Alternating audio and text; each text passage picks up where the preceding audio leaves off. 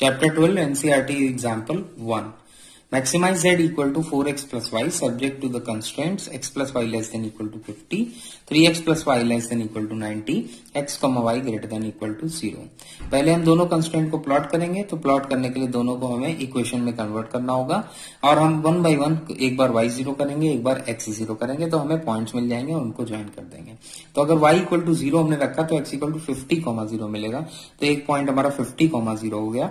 तो इसको मैं ऐसे लिख लेता हूँ fifty comma zero and in the similar way अगर x को हमने ज़ीरो रखा तो y हमें फिफ्टी मिलेगा। यानी यहाँ भी फिफ्टी मिलेगा तो ज़ीरो कॉमा फिफ्टी हमारा दूसरा पॉइंट हो गया। Now zero comma fifty and fifty comma zero को हम ज्वाइन कर देंगे। तो जैसे ही हम इनको ज्वाइन करेंगे तो हमें लाइन मिल जाएगी। और इसकी हमें इन इक्वेशन जो हमें गिवन है, उसको हम लिखकर इसका रीजन बना लेते हैं। तो this is x plus y less than equal to fifty region निकालने के लिए सबसे बेहतर कि आप ओरिजिन रख दें।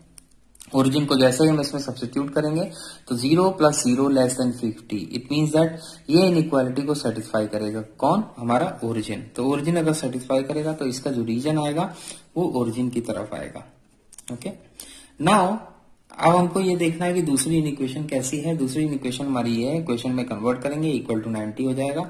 वाई ज़ीरो रखेंगे तो एक्स हमें मिलेगा 30 कॉमा ज़ीरो तो एक पॉइंट हमारा मिल गया हमें 30 comma zero that is this one ये हमारा एक पॉइंट आया 30 comma zero and in the similar way x को ज़ीरो रखेंगे, y 90 मिलेगा। तो एक पॉइंट हमें मिलेगा that is zero comma ninety now zero comma ninety and thirty comma zero को हम ज्वाइन कर देंगे। जब इनको ज्वाइन करेंगे तो हमें लाइन मिल जाएगी okay? Now again we calculate the region now ये जो कंस्टेंट है x x comma y greater than equal to zero तो ये जो कंस्टेंट है, ये तो हमारा फ़र्स्ट क्वाड्रेंट का मतलब फ़र्स्ट रीजन हमें फ़र्स्ट क्वाड्रेंट में देखना है। तो इसी इन इक्वेशन इसकी क्या इन इक्वेशन है? Three x plus y less than equal to ninety now अब क्या करेंगे हम इसको? कि ज़ीरो ज़ीरो रखेंगे तो zero plus zero less than ninety inequality true है। इसका मतलब ओरिजिन कंटेनिंग रीजन इसका आएगा।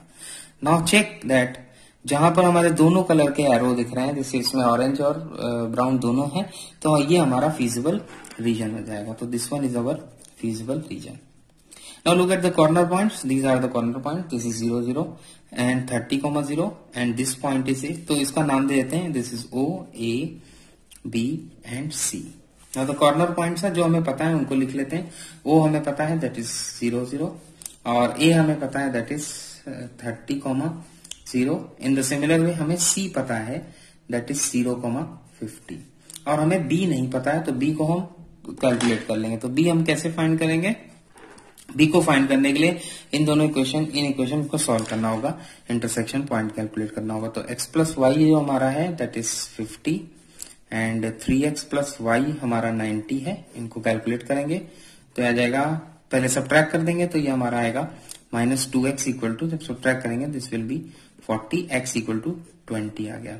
एक्स ट्वेंटी आया तो एक्स की वैल्यू वाई इस इक्वेशन में रखेंगे तो वाई हमें थर्टी मिल जाएगा। तो ट्वेंटी कॉमा थर्टी, हमारा दूसरा बी जो कॉर्नर पॉइंट है, वो आ जाएगा ट्वेंटी कॉमा थर्टी। ना, ट्वेंटी कॉमा थर्टी जो बी आया, अब ये हमारे चारों कॉर्नर पॉइंट्स आ गए। इन पे हमें जेड की वैल्यू कैलकुलेट करना होगा और ये चेक करना होगा कि हमारा जेड मैक्सिमम किसमें है। तो thirty into four that is 120 and this is 0 and this is 50 so this will be 50 and z equal to 20 comma 30 20 comma 30 रखेंगे तो 4 into 20 plus 30 that is 120 sorry, this is 80 and plus 30 so that will give you 1110 so, हमको choose करना है which is the maximum value क्योंकि हमें objective function की maximum value calculate करनी है तो मैक्सिमम वैल्यू हमारी 120 हो गई.